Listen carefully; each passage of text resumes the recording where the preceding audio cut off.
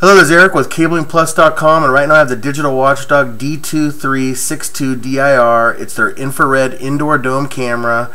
It's going to give you a 3.3 or 12 millimeter varifocal auto iris lens and 540 lines of resolution. So you're going to get that high resolution uh, video you're looking for in your security cameras. Uh, Digital Watchdog does a great job with all their cameras. Uh, of course, I'm a big fan of their cameras. They offer a five-year warranty on all their cameras and DVRs. So they definitely make uh, buying easy. So let's just go ahead and take a look at the camera. I just want to give you a quick out-of-box look. Uh, of course, you got your uh, manual, your instructions. Uh, they always do a good job laying out for you. They make programming their cameras really easy. Now, all their cameras, I mean, Digital Watchdog is really known for having feature-rich cameras. So you're going to get the light, low light sensitivity, this electronic day-night. Uh, you got your auto gain control, your backlight compensation, your auto white balance. I mean, they're known for having feature-rich cameras. So the, truth of the matter is, no matter what your application is, the odds are pretty good they're going to have some kind of feature in there to help you you uh, capture the video you're looking for. Uh, this camera, like most of theirs, is a three-axis gimbal, so you have the ability to do a 360 degree rotation or a 90 degree pan and tilt. Uh, this gives you some real good flexibility if you wall or ceiling mount the camera. So you can really, uh, once you pop off the cover, you're really going to be able to, to uh, direct the, the camera inside in the direction that best supports your application. Uh, of course, you got your mounting template for mounting on the wall or the ceiling. And let's just go ahead and take a look at the camera. Again, this is a 12 volt DC camera.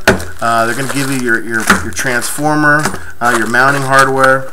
So let's just go through this real quick. Uh, of course, you got your security uh, screw, your security tool and you got your mounting screws and they provide a 12 volt DC it's, it's a half amp uh, transformer so they're making it really simple for you to install this camera so as you can see from here, you got your you got your 12 volt DC power plug, and then you got your BNC.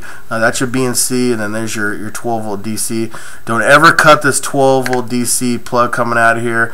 I know a lot of people think about that when they when they're looking at their equipment trying to figure out how to install it. Uh, you need a, it's a dollar 25. It's a pigtail. It's gonna plug right into there while you plug into your raw cable. You're gonna need one on both ends. Uh, again, if, if you cut this, the warranty's gone. So uh, I always uh, recommend people make make sure you look, take a look at this and do not cut these off. So when you look at the camera, it's really a nice looking camera.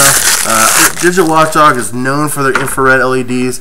Now this these infrared LEDs are going to give you a 100 foot IR range in total darkness and uh, that, that's just a good look at the LEDs right there. The way those work is once the camera auto senses that it doesn't have enough light the infrared LEDs are going to turn on and the camera is going to create its own light. So again total darkness 100 feet uh, it's definitely an added value for that for that. Uh, here's the back of the camera. There's a good look at the back of the camera.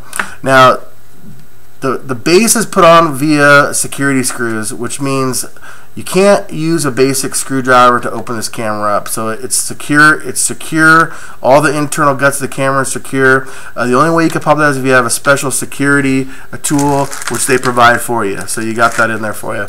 Once you pop this off, you're going to have a nice little menu, a joystick menu, where you can make all the, the changes to your video, your color. You get full control of the camera. Once you've adjusted the camera to support your needs, you're going to go ahead and just pop that lid back on, secure it with the screws, and you're ready to go. So let me just give you a good look at what it would look like uh, installed on like a ceiling look. Uh, again, this is with uh, Digital Watchdog. It's their D2362DIR. It's their infrared indoor dome camera, uh, 540 lines of resolution, and 3.3 12mm varifocal auto iris lens. I hope this information is helpful for you, and I hope the best in all your installations. Best of luck.